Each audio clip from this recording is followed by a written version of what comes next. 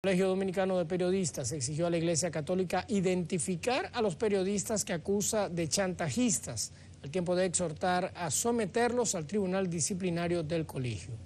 Mercedes Castillo, presidenta del CDP, dijo que la institución está comprometida con la defensa de un periodismo ético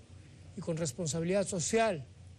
y no será cómplice de acciones indecorosas contra la noble profesión de periodista. El Comité Ejecutivo del CDP exige al padre Arsenio Ferreira Rosario revelar los nombres de los periodistas que se dedican supuestamente a chantajear y presionar mediáticamente a funcionarios públicos y a negocios con notas falsas en las redes sociales en busca de dinero al momento de leer las siete palabras pronunciadas por Jesús en la cruz específicamente la que dice, Padre, en tus manos encomiendo